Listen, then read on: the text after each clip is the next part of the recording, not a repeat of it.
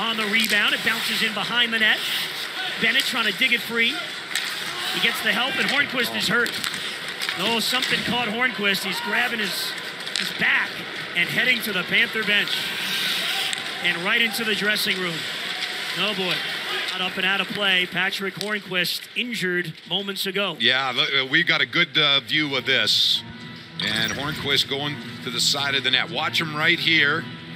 There's Hornqvist. Okay, then roll it. Watch the stick, the skate of the defenseman. Right here, can roll it and right off the side. Uh, another look. He dropped his stick right away. Yeah, the skate came up.